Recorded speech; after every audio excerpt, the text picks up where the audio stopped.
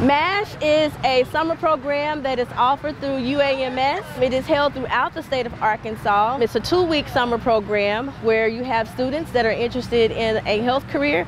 They come and hang out with us. We introduce them to medical professionals. They have hands-on activities. And in some camps, they actually get to shadow and actually see what the life of that specific medical professional is like each day. I didn't really know about it until it got sent out for my school.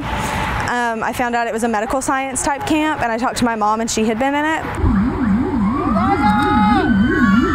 The mock crash is designed to bring awareness to the community as far as the driving safeties.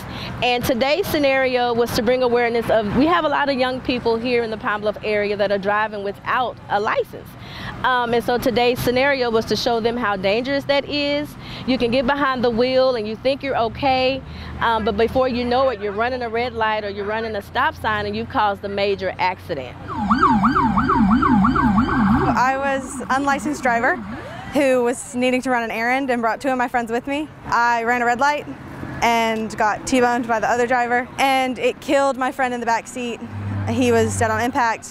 It paralyzed my friend in the passenger seat. I've really just kind of learned how important all the different parts of a hospital are and it's given me the opportunity to see the not as like famous or glorified parts of a hospital like respiratory therapy, your pharmacists, all the parts that aren't really when you think medical field, it's not the first thing to come to your mind. I've uh, been able to learn how they work and how important they really are in the hospital. The students get to see firsthand how the police department, the state troopers, fire department, all of our emergency responders, how they all connect.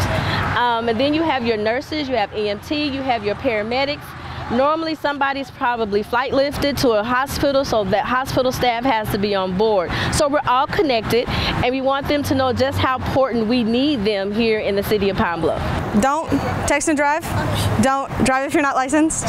Um, be careful because this is like I know the makeup looks kind of like over dramatic, but this is really what happens. As far as MASH, if you're a high school student out there who think you're interested in a medical career, just try it out.